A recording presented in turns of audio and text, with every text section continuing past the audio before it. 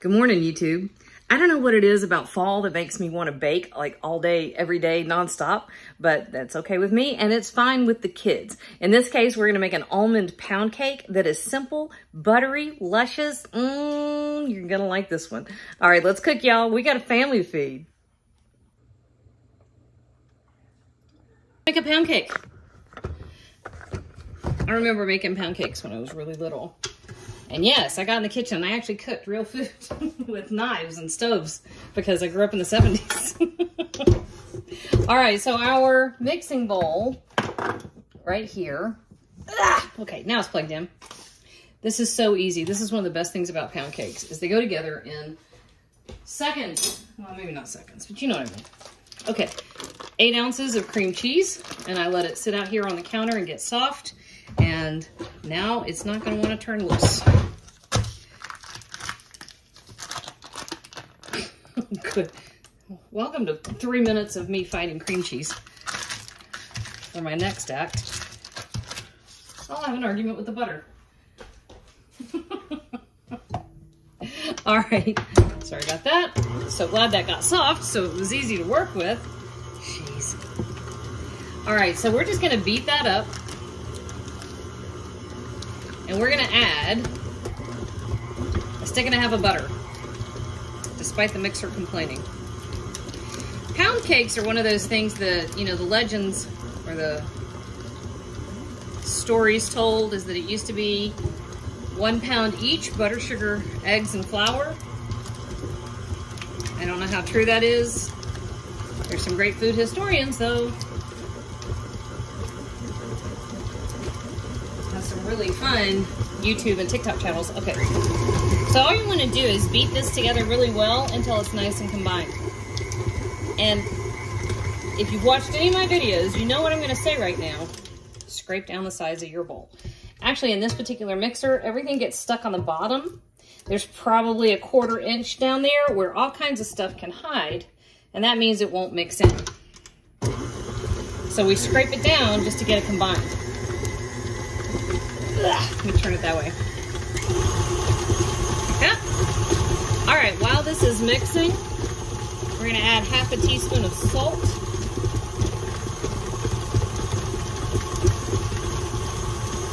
Just because we want to nicely combine. And I forgot to I forgot to preheat my oven.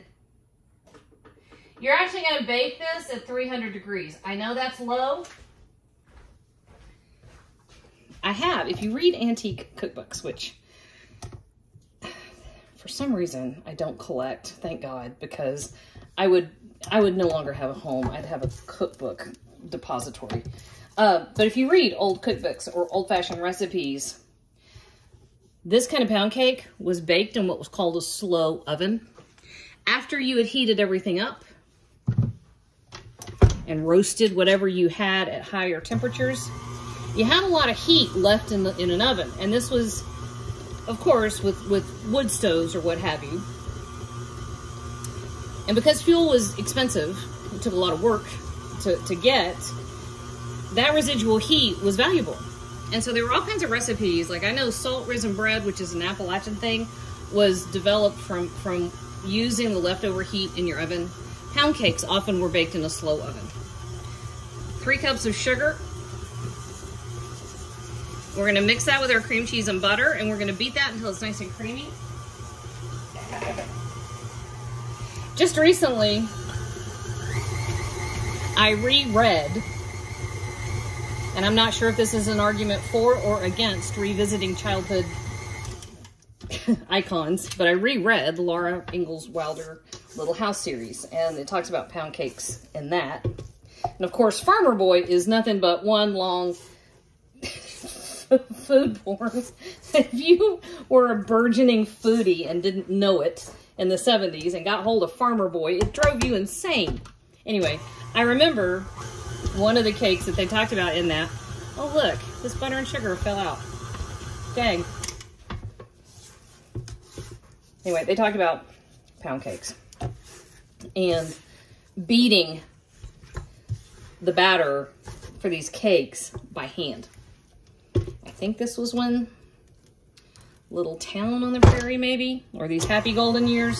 One of the later ones, because they had eggs, because they had gotten a flock of chickens from the. Their last name started with a B. Those people. Oh, I almost had it. Shoot.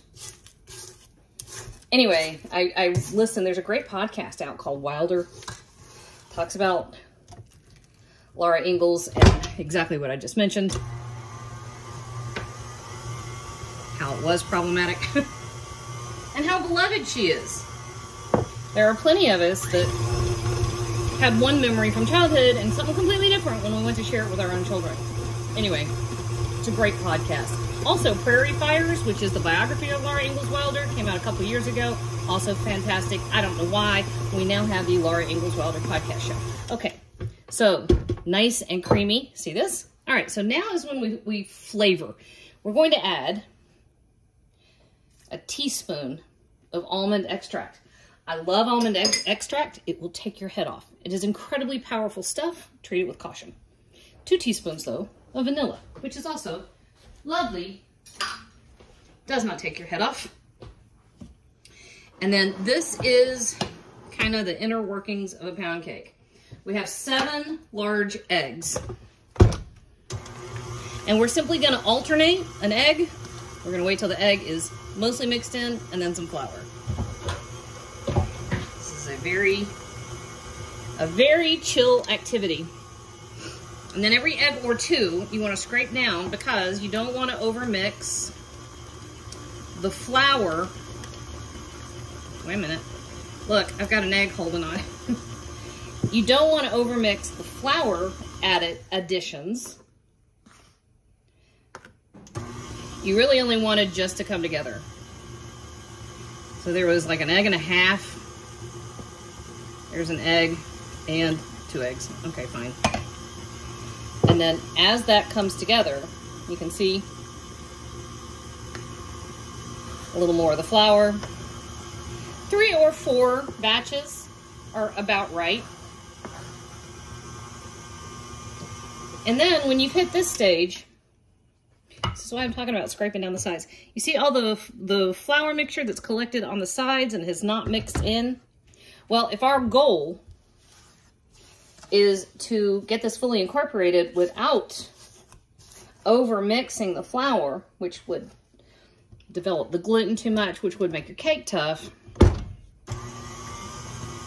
Do it in stages. All right. So we're at three eggs and that much egg white that just wants to, come on. There we go. My eggs are super fresh. I just brought them home yesterday. And if you really have decided that you love cooking, pay attention to the difference in eggs between like the day you bring them home and a week later, and two weeks later, and three weeks later. Eggs will last for weeks. They really will. They're kind of miraculous. Especially if you don't mess with them. Keep them in the refrigerator I buy those great huge boxes of eggs, the ones that have um, 15 dozen eggs. Although the boys and I were talking about this just recently, we almost have hit that point where we don't need to buy warehouse amounts quite as much anymore. Although they're cheaper that way, eggs are cheaper that way, and because they do last for so long. You have weeks to use them up. Look at that. It just doesn't want to move. That's a fresh egg. The white really wants to stay attached to the yolk. That's lovely. For that, this is all to go right in there.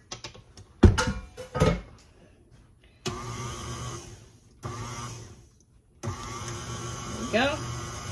Our last little bit of egg. See? A little bit of egg. Now, if you want to, you can use a Bundt pan. I have discovered I need to go shopping because I do not have a Bundt pan that I like. And see, that's my excuse. That's my that's how my justification works. Give me enough time, I can justify just about anything. right now, it's Bundt pans. But if you don't have a Bundt pan, you have a couple loaf pans, which will work very well. And it makes lovely little cakes. All right. I have got to wash my hands. Look at look at the mess I make out of I, that makes me crazy. I gotta wash my hands. I'm gonna be back. Hang on a minute. Oh, I feel better. Did some dishes. Had to do some triage on my countertop. You have a kid at home, you can offer them the beater. If you don't have a kid at home, you can keep it all for yourself. Oh, dang it. There. All right. Now, if I'm loading more than one pan from one bunch of batter, I like to use one of these dishers. It only helps you keep it even. You don't have to be precious about it. But if you've got the same number of scoops in each of your pans, your cake will bake evenly. That one was a little loaded. So that one's loaded too. So it takes a minute more to do it this way. It sure does make it easy to get your batter to come out.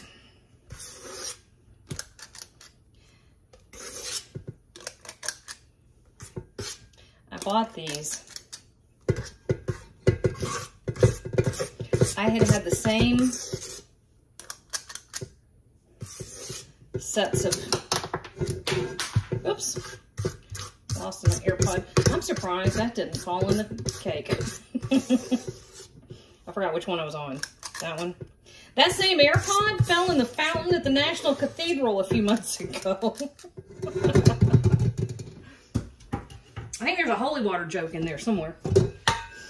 Anyway, I said some bad words at the National Cathedral. And then my son jumped in there and got it out for me. So I guess I was forgiven for my language, despite the location. I think the coolest thing I saw at the National Cathedral were the space windows.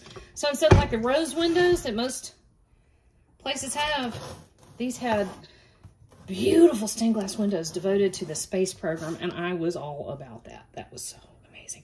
I think I ended up with this one having more in it. Y'all count and tell me if I did that. I think I did. I don't care. Okay, so here we go. Boom. There are our almond pound cakes. These are going in my 300 degree oven for about an hour and a half. Then I'm going to check them and I'm going to decide if I want them to go longer or not. I think we're going to be right out one and a half hours. I'll let you know. Where are you going? It was kind of funny. Ben walked in just a minute ago and he said, what, what smells so buttery? That's like a perfect ta-da moment right there. Okay, so I checked it an hour and a half and they were still a little, little wet in the middle. So I gave it another 20 minutes. So we're at an hour and 50 minutes. That is not unusual for a pound cake. This is a nice, slow, long bake. Remember the whole slow oven thing. Low oven.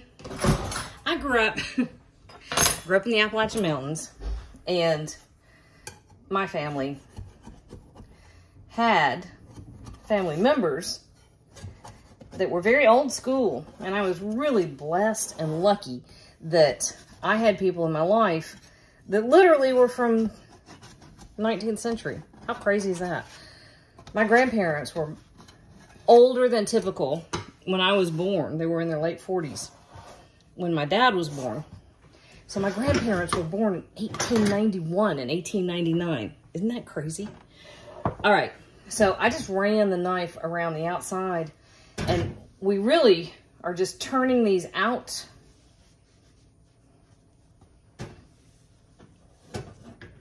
to let them cool. Anyway, my whole point in saying all that is I was lucky enough to have this connection to history and to the past. A lot of people don't have. Of course, I lost my grandparents earlier than a lot of people. But what a remarkable and rich history they gave me. And I, I always, I often find myself thinking of some of these turns of phrase that you just don't hear anymore.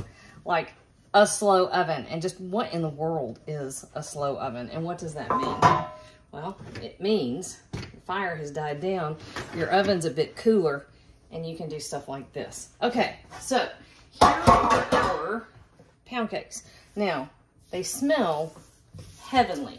It is like an angel is wafting through my kitchen. I tell you that right here and now. Look how beautiful.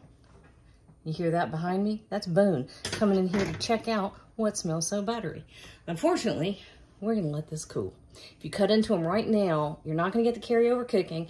You're not to let them rest. They will lose cohesion. They'll just fall all over the place and just fall apart. That's no good for anybody. Boone just shrugged, like that's okay, it's fine with him. I'm gonna make him let some of these let these cool for a little bit. Okay? Boone, give me 45 minutes. Okay. All right, we'll be back then.